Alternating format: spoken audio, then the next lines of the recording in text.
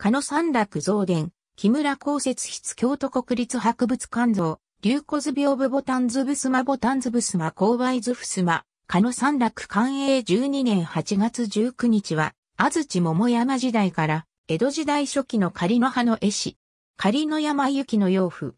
浅井長政の家臣、木村長光の古高来として、大見国家毛軍に生まれる。母は伝承では、増田氏。後の林画法は、佐々木氏の末裔家と記している。父、長光は、余儀として、加野元信に絵を習っていた。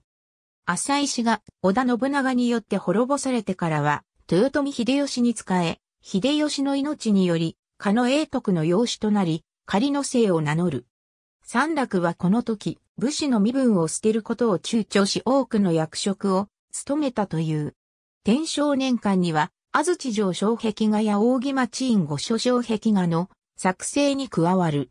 永徳が東福寺報道天井画の制作中に病で倒れると、三楽が引き継いで完成させた。このことから、永徳の後継者として期待されていたことが伺える。以後、豊臣家の関係の諸作事に関わり、大阪に泊まって制作に励んだ。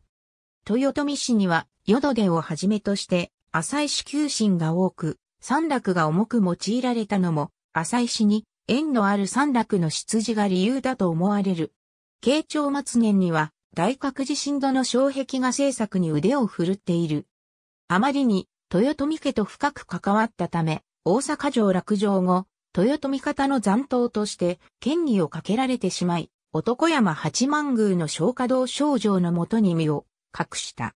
その後、九条家の尽力もあり、三楽は武士ではなく一画校であるとして、恩赦を受け除名される。九条家とのつながりは以後代々受け継がれ、幕末まで続くことになる。駿府の家康に拝謁、京都に戻り徳川秀忠の依頼で四天王寺の聖徳太子絵伝兵器画などを制作した。晩年は、出力の衰えを隠せず、弟子に代作させることもしばしばであった。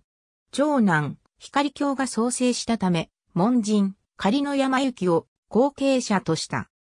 なお、380年の間、謎とされてきた三楽の息子、伊織、仮の山駅であるが、千代院達中の両生院本堂襖絵を描いていたことが近年判明した。大阪芸術大学の五十嵐光一教授の調査による、福岡市美術館所蔵の源氏物語屏風に、加野よりと署名、山駅の楽観、画風の一致。これにより同一人物であることが確定した。